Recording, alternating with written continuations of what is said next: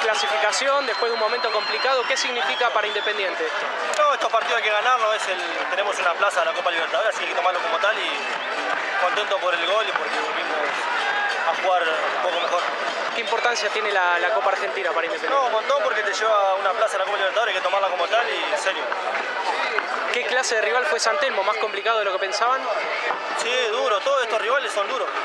Eh, te toca jugar contra un grande y ese es un do, ese es el plus. Y por ahí supimos manejar el primer tiempo y convertir. Y bueno, con el segundo tiempo habíamos acabado. Después ellos no convirtieron y se vinieron un poco más. A la gente, toda esta gente que vino a alentarlos, ¿qué se le puede decir? No, agradecimiento, agradecimiento. Nos han tratado muy bien desde que llegamos, así que agradecimiento.